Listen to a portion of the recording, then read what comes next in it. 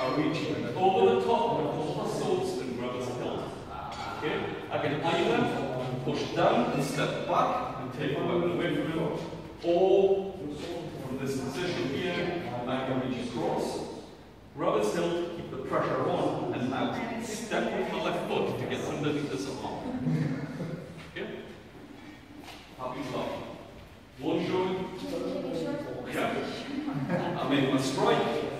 My left arm falls over the top of my right arm. Hilt. Yep.